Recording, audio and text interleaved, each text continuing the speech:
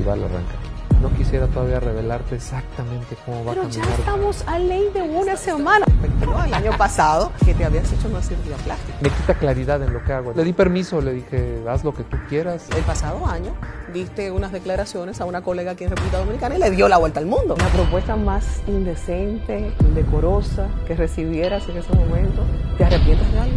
Estado en la vorágine por la controversia vinculada a Marjorie. ¿Cómo ha sido para ti enfrentar esto de manera mediática? ¿Sigues alejado de Mateo o, o tienes la oportunidad de compartir con él?